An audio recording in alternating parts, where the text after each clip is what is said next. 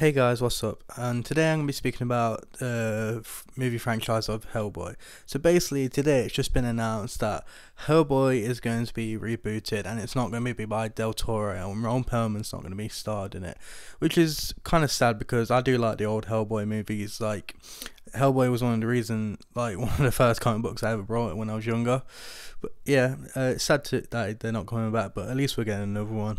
So yeah, um, the new Hellboy is going to be R rated, and uh, Stranger Th- the Stranger Things star David Harbour, who plays uh, Hopper, is going to be the new Hellboy, and the director of the Hellboy movie is coming out is uh, going to be Neil Marshall.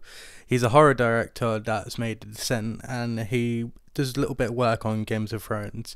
And they have a script and they have a working title which is called Hellboy Rise of the Blood Queen, and this film is going to be uh, rated R, which is I'm happy with this. The uh, David Harbour is a really good actor. I loved him in Stranger Things. I can't wait for Stranger Things to come back, and I can't wait for more news on this film. So yeah, tell me what you guys think. Uh, what you think about the new casting and the new Hellboy, and if you're sad to see Ron Perlman and Del Toro not to return.